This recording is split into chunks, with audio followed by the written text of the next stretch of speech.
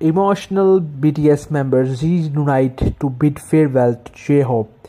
Jin surprises them at military training site. BTS member RM Suga, Jimin, V and Jungkook went to drop off J-Hope at the military camp site. Jin joined them too.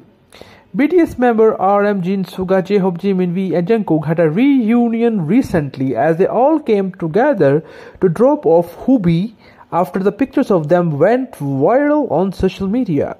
Their official video has been shared on Bangtan TV. It features everyone getting emotional, sharing hugs before Jin makes an entry, and leaving J-Hope is the most surprised.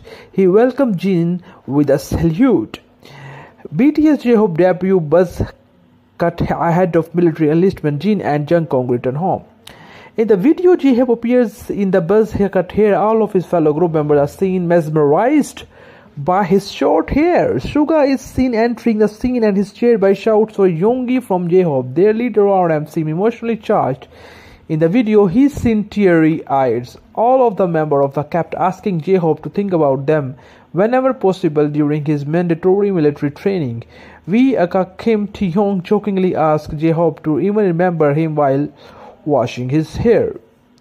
So, reacting to the video, fan wrote in the comment section, "Love seeing the members be, being there for each other. The, these boys, who are now men, these never check cease to amaze me. I'm crying for missing Hobie already, but I'm also crying for the touching, sweet way these fans show up for each other. I added another one.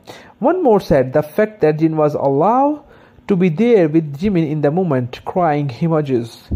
J-Hope has, has now started his military training, according to a report from allkpop. J-Hope will enlist at the Baekhyun New Corps of the 26th Infantry Division as an active duty soldier.